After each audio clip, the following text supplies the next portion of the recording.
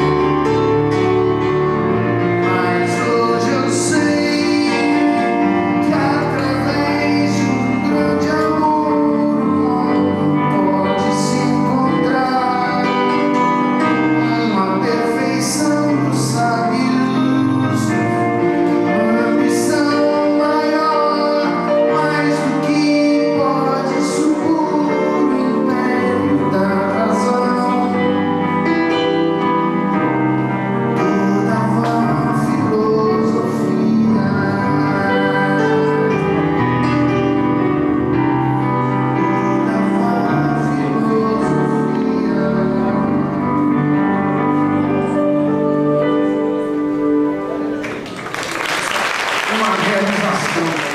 Eu vou contar uma história, eu fiz capa, já contou com a gente aí...